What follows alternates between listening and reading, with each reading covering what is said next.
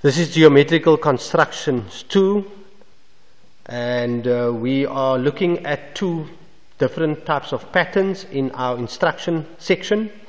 And what you need to do is you need to take a hard look at how the pattern is built in each case and you must use your knowledge and skills which you have with T-squares and set squares and your compass to be able to copy that specific pattern into this space here and by doing so you are actually enlarging that shape.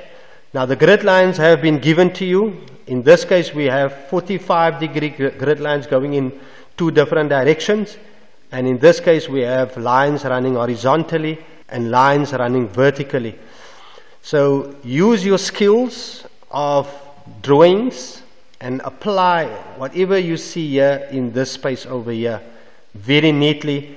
In this instance, you don't have to draw faint lines. You can immediately darken as the pattern is already embedded here. It is just that you need to highlight it and bring it out. Let's get started.